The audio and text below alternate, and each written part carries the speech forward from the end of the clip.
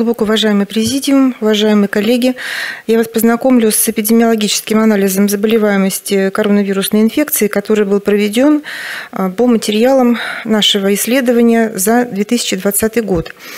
А, целями исследования было оценить эпидемиологическую ситуацию по SARS-CoV-2 среди сотрудников онкологического центра. Задачами а, являлись следующие. Во-первых, нужно было определить интенсивность, структуру, динамику заболеваемости, создать понимание о том, какие у нас существуют группы риска, если таковые имеются, выявить ведущие причины заражения сотрудников, то есть при каких обстоятельствах происходит максимальное инфицирование наших коллег, оценить наличие иммунного ответа а, по иммуноглобулинам класса G в зависимости от клинической формы заболевания и оценить иммунную прослойку с целью прогнозирования дальнейшей эпидемической ситуации и планирования иммунопрофилактики.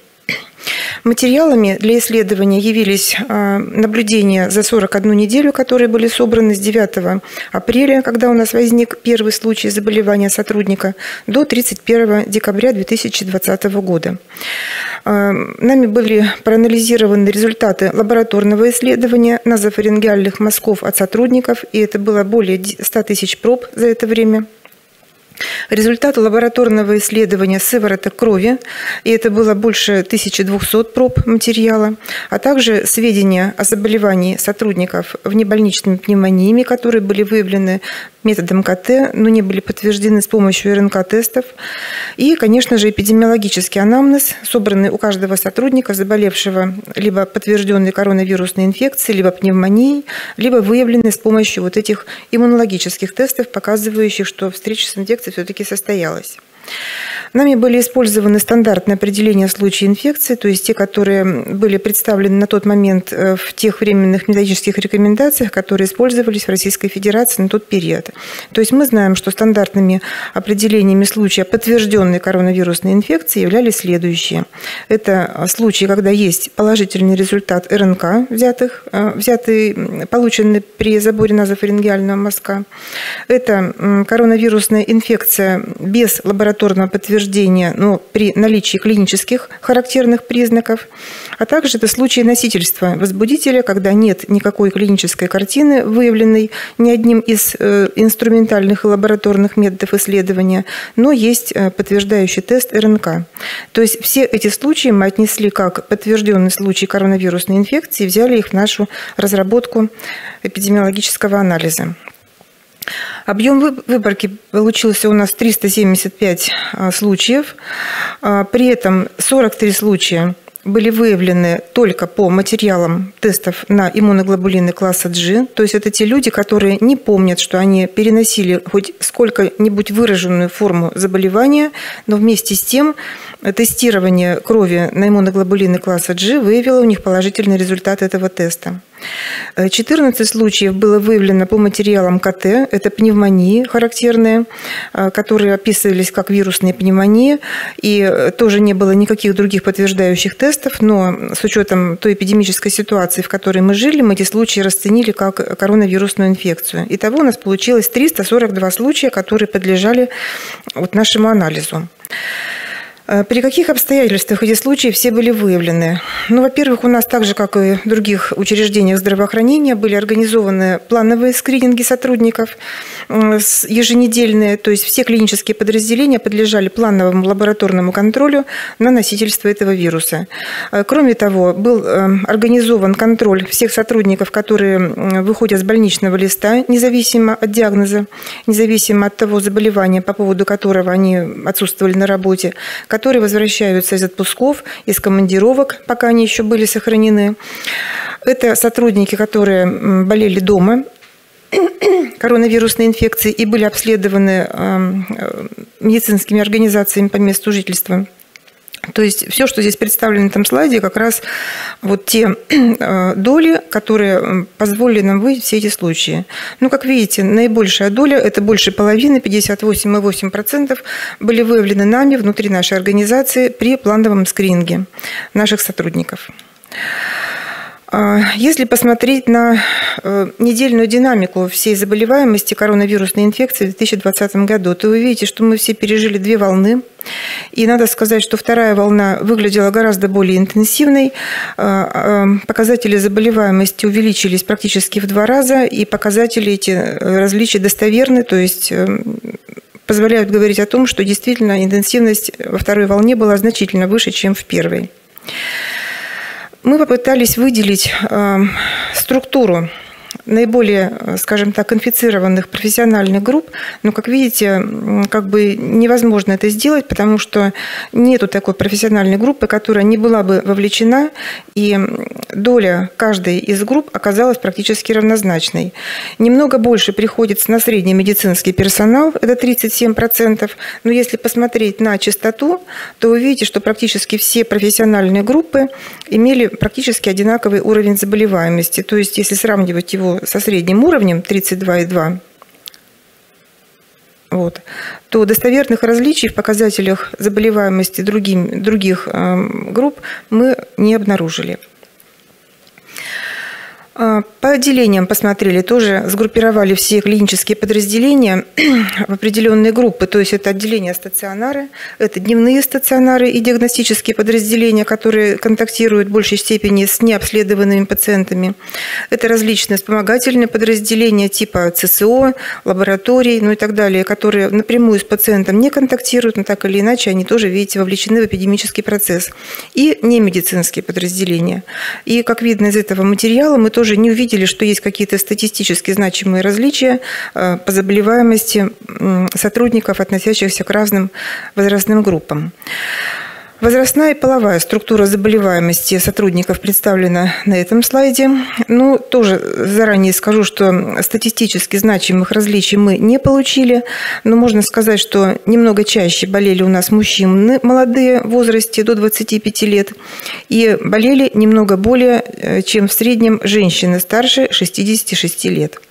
То есть вот тут как бы просматриваются определенные различия, но если их сравнивать с средними показателями по стационару, то статистически значимой разницы тоже нет. А по данным эпидемиологического анамнеза, что нам удалось выявить? Где же все-таки э, большая часть сотрудников наша заражалась? Значит, все представлено на слайде. Думаю, что нет смысла это комментировать. К сожалению, в большинстве э, ситуаций источник инфекции был не выявлен. То есть 38% э, заразились где-то, сами не могут объяснить где. Но а, среди тех, кто предполагает, где они могли заразиться, это был контакт с сотрудниками. То есть это не бытовой контакт, это не оказание медицинской помощи пациентам с коронавирусной инфекцией и даже не лечение в других ЛПО, а это именно контакт сотрудников на работе. И наиболее часто это, конечно, происходит э, даже, может быть, не, на, не столько вот в такой производственной обстановке, сколько во время каких-то обсуждений, какого-то отдыха, нахождения в ординаторской, в сестринской. То есть э, понятно, что это вот те самые, скажем так, рискованные ситуации, когда основная часть сотрудников, наверное, у нас инфицируется потому что при нахождении в ординаторской у всех немножко, наверное, происходит какое-то такое раскрепощение и желание снять костюм, снять маску, побеседовать, попить чаю. Ну вот как раз это самые такие э, ситуации, которые приводят к возможным заражениям. Частота и структура клинических форм коронавирусной инфекции у наших сотрудников представлена на этом слайде. Основная часть э, переболела э, коронавирусной инфекцией в форме ОРВИ, это 78%, 11% это были пневмонии и 10% это бессимптомная инфекция. Частота в виде столбиковых диаграмм представлена, и она, в принципе, соответствует структуре э, клинических форм. А, очень интересный анализ нам удалось провести по материалам скринингов иммунологических после первой волны. То есть тогда все находились практически в одинаковой ситуации, тогда еще не было прививок. И понятно, что э, иммуноглобулины могли вырабатываться только на перенесенное заболевание. Мы обследовали всех наших сотрудников, и болевших, и не болевших. И вот что нам удалось выявить. Среди заболевших 77% э, сотрудников имели антитела. При этом независимо от того, какая у кого была форма. Но При этом характерно, что после перенесенной пневмонии частота обнаружения иммуноглобулинов класса G все-таки была несколько ниже. С чем это связано, сказать сложно, но даже при той же самой бессимптомной инфекции и при обычном ОРВИ а, тоже вырабатывались антитела, и даже, в общем-то, их эм, доля сотрудников, кто их вырабатывал, была несколько выше, чем среди тех, кто переболел пневмонией. Повторные случаи. К сожалению, мы уже в прошлом году с такой ситуацией уже столкнулись, когда после перенесения коронавирусной инфекции у нас вдруг снова по результатам э, РНК-тестов стали выявляться новые случаи коронавирусной инфекции уже у переболевших сотрудников. Мы постарались это проанализировать с точки зрения, скажем так, интервала от первого первичного заболевания, и вы видите, как это получилось. То есть э, наиболее часто это было после 6 месяцев, два случая, ну и по одному случаю через 2, 4, 5, 7, 8 месяцев. Но я повторюсь, это материалы прошлого года. В этом году ситуация выглядит несколько иначе, но это как бы не входит в нашу сегодняшнюю тему доклада. То есть всего э, доля повторных случаев составила 1,6 процента от всех зарегистрированных за 2020 год случаев. Какие формы предшествовали? Повторному случаю заболевания. Но вот тоже можно сказать, что есть определенная корреляция с эм, долей сотрудников, отреагировавших выработкой иммуноглобулинов класса G и предшествующие формы и повторные заболевания. И в том и в другом случае вы видите, что пневмонии у нас, в общем-то, лидирует в плане того, что чаще после них возникают повторные случаи, чем после ОРВИ. Как это объяснить, я пока затрудняюсь. Тут, вероятно, должны работать иммунологи, клиницисты, чтобы понимать вообще, что происходит э, с организмом человека после перенесения достаточно тяжелой формы заболевания коронавирусной инфекции. На сегодня иммунная прослойка выглядит, вернее, не на сегодня, а на конец 2020 года выглядит таким образом. То есть вы видите, что по материалам нашего эпидемиологического исследования к концу года только 32% наших сотрудников оказались иммунными, то есть мы думаем, что защищенными против коронавирусной инфекции, но, к сожалению, 68 не болели, не были привиты и, естественно, не защищены от этой инфекции. Поэтому, конечно, вот в последующий период времени, который и сейчас еще продолжается, наша основная задача заключается в том, чтобы иммунизировать как можно быстрее а, наибольшую массу неболевших сотрудников с отсутствующими иммуноглобулинами класса G, чтобы создать достаточный уровень иммунной прослойки в отделении и обеспечить хотя бы отсутствие вспышечной заболеваемости, чтобы не прекращалась деятельность отделений. На выводах а, позвольте не останавливаться, все они, были, все они прозвучали в процессе моего доклада, но повторю, что наиболее эффективным мероприятием, которое может сдержать действительно пандемическое распространение коронавирусной инфекции может быть только массовая, одновременно проведенная, хорошо организованная иммунопрофилактика. Спасибо.